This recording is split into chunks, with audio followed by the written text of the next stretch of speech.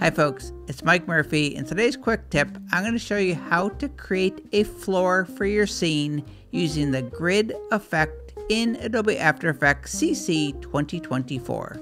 This is grid number one or floor number one. Floor number two, it's the exact same effect. I just changed some of the settings.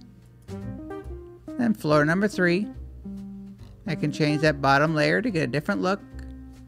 I can also add multiple layers and kind of stack up the grids to get different looks. The first thing I'll do is create a new solid layer.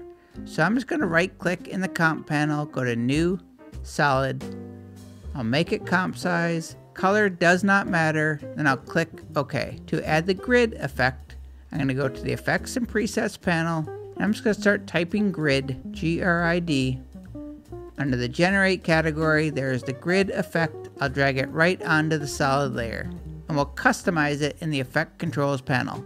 I'll go to the Size From property, click the drop down, and change it from corner point to width slider. This is going to make the grid perfect squares, so if I increase the width, you'll see it stays in a square. I'm going to change the width amount from 32 to 48, and I'll change the border size to 20. And for the color, I'll click the swatch I'm just going to change it to a dark brown color, click OK. And to be able to rotate our grid and make a ground plane or a floor, we're going to convert the layer to 3D space. All you need to do is just tick the box under the cube. And if you do not see the 3D cube, just right click on the header area, go to columns, and make sure that switches is checked. Just tick the box the layer is now in 3D space.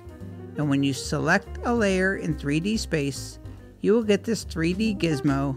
This is going to allow you to adjust the transform properties of that layer in 3D space, or you can also adjust the transform properties if you just twirl open the layer and twirl open transform. And to rotate our grid and make the floor, we're going to do so on the X rotation.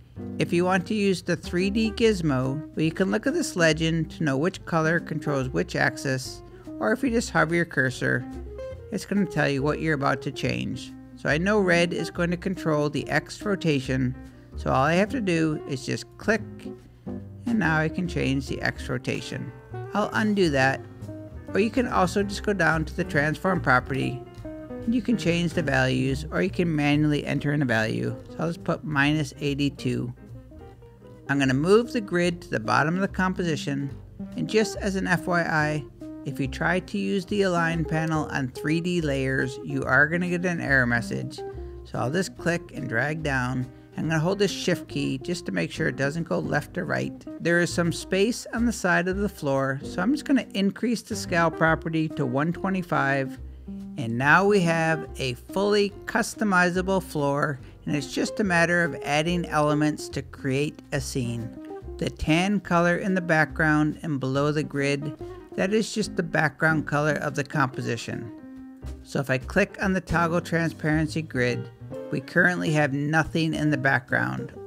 I added another solid layer by just right clicking, new, solid, made it comp size, dark blue, clicked OK, and I dragged it to the bottom of the layer stack. I then added a texture layer. I just lined it up to the floor, and that's going to be my wall. With the texture layer selected, I went to the shape tool, and the rectangle tool, and I drew out a mask to make a fake window. I added a window frame. I put a video of some clouds below I put a plant in the corner. I can see that the plant is below the grid, so I'll select the grid layer. I'm going to drag it down to the bottom. Add a chair, a clock on the wall, added a dude, and now I have myself a little scene. Again, the floor is completely customizable. Just go to the effect controls, customize to your heart's content, change the colors, change anything you want, but that is how you can create a floor using the grid effect in Adobe After Effects CC 2024. And my name is Mike Murphy. Cheers.